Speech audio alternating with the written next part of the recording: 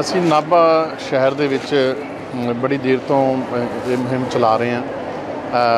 ਪਰ ਹੁਣ ਅਸੀਂ ਜਿਹੜੀ ਹੈ, ਉਹਨੂੰ ਬਹੁਤ ਸੀਰੀਅਸਲੀ ਲੈ ਰਹੇ ਹਾਂ ਕਿਉਂਕਿ ਪਲਾਸਟਿਕ ਦੇ ਜਿਹੜੇ ਬੈਗ ਨੇ, ਪਲਾਸਟਿਕ ਦੀਆਂ ਬੋਤਲਾਂ ਨੇ ਜਾਂ ਪਲਾਸਟਿਕ ਦੇ ਚਿਪਸ ਵਗੈਰਾ, ਕੁਰਕਰੇ ਜਿਹ 'ਚ ਵੀ ਆਉਂਦੇ ਨੇ, ਉਹ ਆਪਾਂ ਖਾ ਕੇ ਐਂ ਸਿੱਟ ਦਿੰਦੇ ਹਾਂ ਜੇ ਕੂੜੇ ਦੇ ਰੂਪ ਦੇ ਵਿੱਚ ਜਦੋਂ ਆਪਾਂ ਨਹੀਂ ਚੱਕਦੇ, ਫਿਰ ਉਹ ਨਾਲੀ ਦੇ ਜ਼ਰੀਏ ਵੱਡੇ ਨਾਲਿਆਂ ਜਾਂਦੇ ਨੇ ਤਾਂ ਸਟਕ ਹੋ ਜਾਂਦੇ ਨਾਲੇ, ਪਾਣੀ ਚੋਕ ਹੋ ਜਾਂਦਾ, ਜਿਹਦੇ ਕਰਕੇ ਪਾਣੀ ਜਿਹੜਾ ਉਹਦਾ ਬਹਾਰ ਨਹੀਂ ਹੁੰਦਾ, ਉਹਦੇ ਕਰਕੇ ਮੱਛਰ ਬਣਦਾ ਜੀ, ਉਹਦੇ ਨਾਲ ਮਲੇਰੀਆ ਫੈਲਦਾ, ਉਹਦੇ ਨਾਲ ਉਹ ਪਾਣੀ ਜਿਹੜਾ ਧਰਤੀ ਥੱਲੇ ਜਾਂਦਾ, ਉਹਦੇ ਨਾਲ ਕੈਂਸਰ ਫੈਲਦੀ ਹੈ।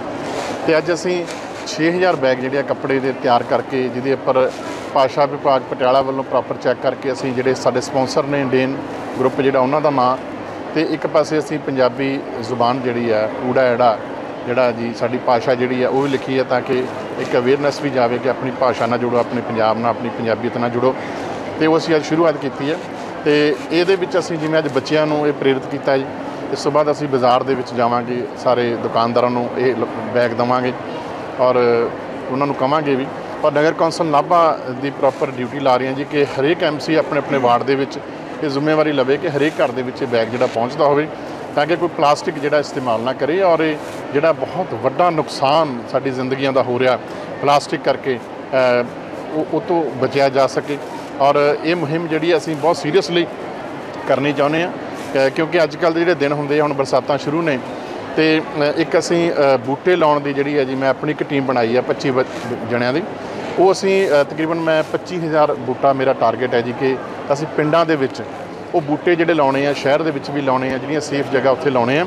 ਔਰ ਬੂਟੇ ਇਕੱਲੇ ਲਾਉਣੇ ਨੇ ਜੀ, ਉਹਦੀਆਂ ਫੋਟੋਆਂ ਖਿੱਚ ਕੇ ਉਹਦਾ ਹਰੇਕ ਸਾਲ ਬਰਥਡੇ ਮਨਾਇਆ ਕਰਨਾ ਜੀ ਹੈਪੀ ਬਰਥਡੇ ਮਨਾਇਆ ਕਰਨਾ ਇੱਕ ਦਰਖਤ ਦਾ। ਕਿ ਪਿਛਲੇ ਸਾਲ ਲਾਇਆ ਸੀ, ਅੱਜ ਕਿੰਨੇ ਸਾਲ ਦਾ ਹੋ ਗਿਆ, ਅੱਜ ਕਿੰਨੇ ਸਾਲ ਦਾ ਹੋ ਗਿਆ। ਉਹ ਤਾਂ ਕਿ ਜਿਹੜਾ ਵਾਤਾਵਰਨ ਆ, ਲਗਾਤਾਰ ਜਿਹੜਾ ਪ੍ਰਦੂਸ਼ਿਤ ਹੋ ਰਿਹਾ, ਉਹ ਤੋਂ ਬਚਾਇਆ ਜਾ ਸਕੇ, ਕਿਉਂਕਿ ਪੂਰੀ ਦੁਨੀਆ ਦੇ ਵਿੱਚ ਇਹ ਮੁਹਿੰਮ ਜਿਹੜੀ ਹੈ ਚੱਲਣੀ ਚਾਹੀਦੀ ਆ। ਔਰ ਨਾਭਾ ਵਿਧਾਨ ਸਭਾ ਦੇ ਵਿੱਚ ਅਸੀਂ ਮੁਹਿੰਮ ਜਿਹੜੀ ਹੈ ਚਲਾ ਰਹੇ ਹਾਂ। ਉਹਦੇ ਨਾਲ ਹੀ ਜਿਹੜਾ ਫ਼ਰਕ ਪੈਣਾ ਜੀ। ਜਿਵੇਂ ਆਪਾਂ ਬੈਗ ਜਿਹੜੇ ਨੇ ਪਲਾਸਟਿਕ ਦੇ ਬੰਦ ਕਰਾਂਗੇ, ਉਹਦੇ ਨਾਲ ਬਹੁਤ ਵੱਡਾ ਫ਼ਰਕ ਪੈਣਾ। ਇਹ ਛੋਟੀਆਂ ਛੋਟੀਆਂ ਚੀਜ਼ਾਂ ਨੇ, ਜਿਹੜੀਆਂ ਸਾਡੀ ਜ਼ਿੰਦਗੀ ਦੇ ਵਿੱਚ ਬਹੁਤ ਵੱਡਾ ਬਦਲਾਅ ਲਿਆ ਸਕਦੀਆਂ ਨੇ। ਔਰ ਸਾਨੂੰ ਗੁਰੂ ਸਾਹਿਬ ਦੇ ਉਪਦੇਸ਼ ਮੁਤਾਬਕ ਵੀ ਚੱਲਣਾ ਚਾਹੀਦਾ। ਸਾਨੂੰ ਇਹ ਜਿਹੜੀ ਕੁਦਰਤ ਦੀ ਸਾਡੇ ਨੂੰ ਦੇਣ ਆ, ਬਹੁਤ ਵੱਡੀ ਇਹਦਾ ਖਿਲਵਾੜ ਨਹੀਂ ਕਰਨਾ ਚਾਹੀਦਾ। ਦਰਖਤ ਨੂੰ ਨਾ ਸਾੜੋ, ਦਰਖਤ ਦੀ ਦਰਖਤ ਭਾਵੇਂ ਇੱਕ ਲਾਓ, ਪਰ ਉਹਨੂੰ ਪਾਲ ਕੇ ਵੱਡਾ ਕਰੋ, ਤਾਂ ਕਿ ਜਦੋਂ ਤੁਸੀਂ ਇਸ ਦੁਨੀਆ 'ਚ ਨਾ ਹੋ, ਦਰਖਤ ਤੁਹਾਡੀ ਨਿਸ਼ਾਨੀ ਰਵੇ। ਤੁਹਾਡੇ ਬਜ਼ੁਰਗਾਂ ਦੀ ਨਿਸ਼ਾਨੀ, ਤੁਹਾਡੀ ਨਿਸ਼ਾਨੀ ਆਉਣ ਵਾਲੇ ਸਮੇਂ ਦੇ ਵਿੱਚ ਉਹ ਮਿੱਠੇ ਫਲ ਦੇਵੇ, ਛਾਂ ਦੇਵੇ, ਔਰ ਜਿਹੜਾ ਆਪਣੀ ਆਕਸੀਜਨ ਹੈ, ਉਹ ਵੀ ਦੇਵੇ। ਸੋ ਇਹ ਮੁਹਿੰਮ ਜਿਹੜੀ ਹੈ ਬਹੁਤ ਜ਼ਰੂਰੀ ਸੀਗੀ। ਮੈਂ ਵਿਸ਼ੇਸ਼ ਤੌਰ ਤੇ ਐਸਡੀਐਮ ਨਾਭਾ ਤਰਸੇਮ ਚੰਦ ਜੀ ਦਾ ਧੰਨਵਾਦ ਕਰਦਾ ਕਿ ਇਹਨਾਂ ਨੇ ਬਹੁਤ ਸੀਰੀਅਸ ਹੋ ਕੇ ਮੇਰੇ ਨਾਲ ਡਿਸਕਸ ਕਰਕੇ ਸਾਰਾ ਪਲਾਨ ਤਿਆਰ ਕੀਤਾ। ਸਾਡੇ ਜਗਜੀਤ ਸਿੰਘ ਜੀ ਸਾਡੀ ਨਗਰ ਕੌਂਸਲ ਨਾਭਾ ਦੀ ਸਾਰੀ ਟੀਮ ਔਰ ਸਾਰਿਆਂ ਨੂੰ ਮੈਂ ਬਹੁਤ ਬਹੁਤ ਧੰਨਵਾਦ ਕਰਨਾ ਚਾਹੁੰਦਾ ਔਰ ਸਭ ਦਾ ਸਹਿਯੋਗ ਵੀ ਚਾਹੀਦਾ ਕਿ ਜੇ ਆਪਾਂ ਚਾਹੁੰਦੇ ਹਾਂ ਕਿ ਸਾਡਾ ਨਾਭਾ ਮੈਂ ਇੱਕ ਸਲੋਗਨ ਚਲਾਇਆ ਹੈ ਕਿ ਮੈਂ ਨਾਭਾ ਹਾਂ ਮੈਂ ਤੁਹਾਡਾ ਹਾਂ ਮੈਨੂੰ ਸਾਫ਼ ਰੱਖੋ। ਜੇ ਅਸੀਂ ਚਾਹੁੰਦੇ ਹਾਂ ਕਿ ਸਾਡਾ ਨਾਭਾ ਸਾਫ਼ ਹੋਵੇ ਤਾਂ ਸਾਨੂੰ ਫਿਰ ਇਹਨਾਂ ਚੀਜ਼ਾਂ 'ਤੇ ਧਿਆਨ ਦੇਣਾ ਪੈਣਾ ਔਰ ਉਹ ਧਿਆਨ ਦੇਵਾਂਗੇ ਤਾਂ ਸਾਡੀ ਜ਼ਿੰਦਗੀ ਬਚ ਸਕਦੀ ਹੈ। ਸਰਕਾਰ ਵੱਲੋਂ ਕਿਉਂ ਨਹੀਂ ਬੈਨ ਲਗਾਇਆ ਜਾਂਦਾ? ਸਰਕਾਰ ਵੱਲੋਂ ਗਾਈਡਲਾਈਨ ਤਾਂ ਹੈਗੀਆਂ ਨੇ ਜੀ ਪਰ ਉਹਨੂੰ ਫੋਲੋ ਨਹੀਂ ਕੋਈ ਕਰਦਾ। ਫੋਲੋ ਜਿਹੜਾ ਵਿਲ ਪਾਵਰ ਨਾ ਹੋਊਗਾ ਜੀ ਜੇ ਪੋਲੀਟੀਕਲ ਬੰਦੇ ਜੁਡੀਸ਼ੀਅਲ ਸਿਸਟਮ ਜਿਹੜਾ ਸਾਰਾ ਨਾਲ ਹੋ ਕੇ, ਇਕੱਠੇ ਹੋ ਕੇ ਆਪਾਂ ਪ੍ਰੇਰਿਤ ਕਰਾਂਗੇ, ਇਹਦੇ ਉੱਪਰ ਨਕੇਲ ਕਸਾਂਗੇ ਜੀ ਔਰ ਵੇਚਣ ਦੇ ਉੱਪਰ ਪਾਬੰਦੀ ਲਾਵਾਂਗੇ ਔਰ ਜਿਹੜੇ ਵਰਤਦੇ ਨੇ ਉਹਨਾਂ ਨੂੰ ਘਰ ਘਰ ਜਾ ਕੇ ਸਮਝਾਵਾਂਗੇ ਇਹਨਾਂ ਨੂੰ ਰੋਕਾਂਗੇ, ਤਾਂ ਮੇਰਾ ਖਿਆਲ ਹੈ ਬਦਲਾਅ ਆ ਸਕਦਾ ਹੈ। ਇਹਨੂੰ ਪੋਲੀਥੀਨ ਦੇ ਲਿਫਾਫੇ ਐਵੇਂ ਵਿਦ ਵਗੈਰਾ ਨਹੀਂ ਵਰਤਣਾ ਚਾਹੀਦਾ ਕਿਉਂਕਿ ਇਹਨਾਂ ਨਾਲ ਬਿਮਾਰੀਆਂ ਫੈਲਦੀਆਂ ਨੇ। ਇਹ ਨਾਲੀਆਂ ਵਗੈਰਾ 'ਚ ਫਸ ਜਾਂਦੇ ਨੇ ਤਾਂ ਗੰਦਾ ਪਾਣੀ ਹੁੰਦਾ ਆ ਤੇ ਇਹਦੇ ਨਾਲ ਕੈਂਸਰ ਵਰਗੀਆਂ ਬਿਮਾਰੀਆਂ ਹੁੰਦੀਆਂ ਨੇ।